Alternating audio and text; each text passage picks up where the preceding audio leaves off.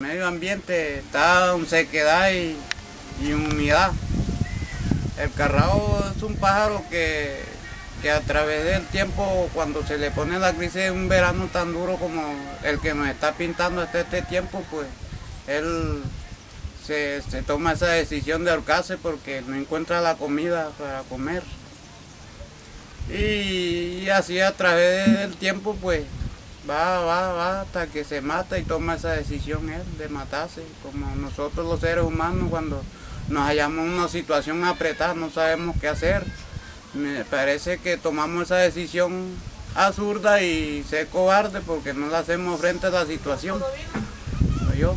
Y este suicidio es colectivo, es decir, usted se logran ver 3, 4, 5, 7, muchos carrados durante el Sí, verano. Sí, muchos carrados durante, durante el verano cuando es muy fuerte, pues toman esa decisión, no encuentran la solución de sobrevivir, de, buscar la comida.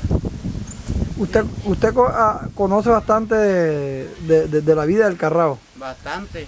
Cómo el, cómo, cómo el carrao no se, no se domestica, ¿cierto? No, señor, Ellos se, se crían en la ciénaga. en la ciénaga. ¿Cuáles son las costumbres de ellos? Bueno, las costumbres de ellos es en la ciénaga vivir de, de, de ciénaga en ciénaga y pues es un pájaro que él muy, poco se deja coger así de noche ni muy poco se deja coger porque no consiente la luz del foco. Y ¿No qué? no, no consiente la luz del foco. Ajá. Sea, uno un foco de mano y, lo alumbra y no, no consiente, se vuelve enseguida. Y él, él vive en los pozos, pero él de noche se, se monta arriba, no duerme en el, en el suelo. Vive arriba de los palos de noche. Por si el caso de algún animal, otro animal depredador lo quiera agarrar. Y, y así, yo exclusivamente pues cuando mi juventud, mi edad que tenía, por ahí unos 18 años, 20 años, pues yo viví mucho de, de estos pájaros. Un día pues me hallaba malo de situación y yo dije, caramba, no sé ni qué comer, qué, qué será lo que, de qué me voy a vivir, hoy no voy a encontrar comida, Señor, ayúdame. Pues yo tenía mis hermanas pequeñas, ellas son hermanas mías y ella es mi mamá. Y me hallaba en esa situación, pues yo dije, Dios mío, que no hay como manera de sobrevivir. Yo, pues hoy me voy a matar un pájaro de esos que jamás y nunca lo he comido y voy a probarlo para ver qué, qué utilidad tiene o qué sabor tiene. Pues yo tenía un pedacito de escopeta y pues me salía a matar carrao y lo traje aquí, pues la muchacha, mi mamá, todavía como ellas no sabían trabajarlo, pues mi mamá lo guisó y, y lo comimos y pues nos quedó encantando y yo dije, bueno, entonces esta será la solución de sobrevivir porque no, no tengo otra. En cambio de, de dime a meter a robar o, o hacer otra cosa, pues yo voy a vivir sobre esos animales, pues. Y todavía es la hora que usted come carrao. Bueno, ya muy poco, ya no, no lo como porque ya me he civilizado más. ya me parecía como hoy las cosas tan tan malas, pues yo fui dejando ese arte de, de, de cazarlo, de cazarlo. Y las hermanas me dicen, ay, mátate un carrado. Y no, yo no, ni me gusta ya. Pues ya mire, ya tengo hasta la escopeta olvidada que ni la saco ya, porque ya no me encantan de, de acabar con esa especie. Ajá. Y el carrao es agresivo. O sea, muchas veces, muchas veces cuando, cuando se encuentra parido agresivo con nosotros depredadores, pero con uno pues, cuando uno lo va a agarrar pues le mete picotazo como una gallina, un gallo guapo que le mete picotazo. Pero no es un pájaro agresivo que te va a pasar por aquí y él lo va a atacar, no. ¿Cuáles son los depredadores del carrao? Bueno, ahí tenemos, ahí tenemos el, el- la babilla, tenemos el gavilán, tenemos las zorras, si caso tal se quedara en el suelo se lo comería una zorra. ¿Qué otras costumbres tiene el carrao? Bueno, los costumbres de él es de ese así, de, de- de volar y volar, y, y cuando es tiempo de creciente, pues él se monta en un palo ahí a cantar con tristeza, porque con tristeza y alegre porque le van a producir muchos caracoles.